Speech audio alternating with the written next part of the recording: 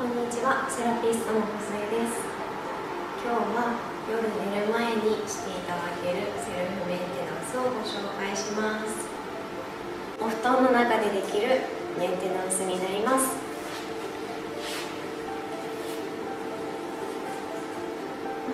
えー、末端に下がってしまった血流を、えー、循環させるために手と足を上げていただいてように30秒ほどバタバタしてください。これによって血流が、えー、全身の方に巡っていってくれます。そして、え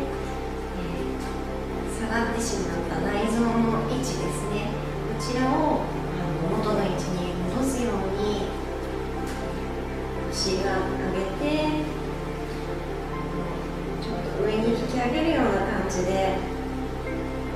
時計回りにこのような感じでおへそ周りを圧迫しながら